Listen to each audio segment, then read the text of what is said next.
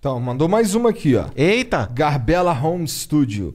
Por várias vezes o OneRPM alterou o ISRC da música antes do lançamento, ou seja, trocou o ISRC que o artista inseriu, gerado pela associação, pelo genérico gerado pela OneRPM, sem avisar o artista. Ixi, esse é um dos haters, cara. Por que isso aí acontece? Já vi acontecer com muita gente. Falei que podia rolar. e Inclusive comigo. Abraço. Cara, a gente não altera ISRC de ninguém, a não ser que o próprio artista solicite, cara. É claro que pode haver alguma falha técnica, a gente precisa investigar isso. É, então, se ele puder mandar depois, entre em contato pelo próprio sistema da Unipem. A gente tem um sistema de ticket, onde a gente tem uma equipe dedicada, humana, que analisa cada um dos problemas e tenta entender o que aconteceu. Mas a gente não faz troca disso, porque Primeiro, não faz. o sistema Não, não, não- simplesmente porque não vai funcionar. Porque na hora que a gente vai mandar para as plataformas, tem que ter esse código único. Eu não posso ficar trocando. Ah, agora eu quero esse, agora eu quero aquele. Não, não tem mínimo sentido. Não, não vai existir relatório. Se existe relatório, quer dizer que foi unificado em uma coisa só, que ou o artista colocou esse código ali, ou ele decidiu não pôr e teve que gerar um automático pelo sistema. Então, quando troca, pode ser até ruim pro próprio artista. Sim, sim, sem dúvida alguma. Então você tem que sempre manter o mesmo código de SC para sempre, cara. É o CPF da tua música. Então esse negócio da gente trocar, cara, provavelmente, cara, isso não deve ter acontecido. O que deve ter acontecido é subir uma, não conseguiu distribuir, ele subiu outra. E aí cada vez que ele sobe uma música, acaba gerando um código novo. Só que das três só foi distribuído uma. E aí começa a ficar uma bagunça. A gente tem um sistema que é um sistema antifraude. Se você sobe uma música e é distribuída, legal, o sistema deu ok. Só que se você subir a mesma música, antes de você distribuir a música, o sistema já vai avisar: olha, alguém já distribuiu essa música aqui. Aí a gente vai dar uma olhada, porque talvez a dele seja fraude e você seja original. Ou você seja fraude e ele seja original. Então, antes de acontecer essa distribuição, o sistema já dá aquela travada para alguém humano e dar uma verificada para ver se não é fraude. Porque tem muita fraude, muita pirataria no digital, viu, cara? Não tô falando de pouca, não. Os caras botam lá, música dos outros. Pois é, cara, vou dar um exemplo. Vamos falar de um artista clássico aqui, como João Gilberto.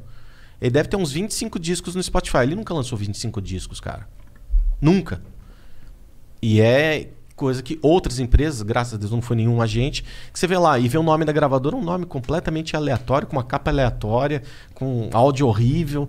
Tem muita pirataria. Então a gente tem, a gente criou diversas ferramentas para tentar bloquear essas fraudes, das, cara. das plataformas? Essas piratarias conseguem ganhar o... Consegue. Se, se alguém aprovou e distribuiu e tiver consumo, vai receber, cara. Entendi. Então é uma falha ali das plataformas de fazer esse, esse Sim, filtro, né? as plataformas como de streaming, elas falam, olha, o que você me entregar, você assume responsabilidade. Então, por isso que dentro da UNPM, a gente leva muito a sério esse processo de antifraude ali. Ninguém pode tentar fraudar o sistema. Só que existem centenas de distribuidoras digitais no mundo e algumas não são tão antifraudes como a gente. E Entendi. acaba passando. Entendi. Se você for olhar, eu falei de João Gilberto, mas Tom Jobim, esses artistas. Tem umas coletâneas, cara, dentro das plataformas de streaming. Você fala, cara, isso aí é pirata.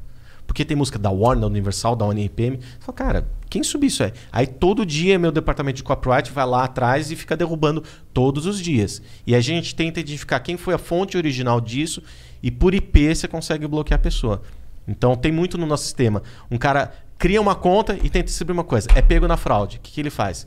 Ele abre outra conta e tenta distribuir. Só que o sistema via IP já identificou esse cara e fala: não, o IP desse cara aqui tá na, na nossa watchlist. isso é contornável, né? Se o cara for hacker. Sim, mas geralmente é o mesmo modus operandi. É. É um cara que criou uma conta do nada e no dia seguinte já tá distribuindo 10 álbuns de uma vez, entendi. cara. Não é um cara muito sofisticado. É, não. E aí tem esse lance do sistema, ver se o áudio já está distribuído, nem, não só pela gente, mas por qualquer um.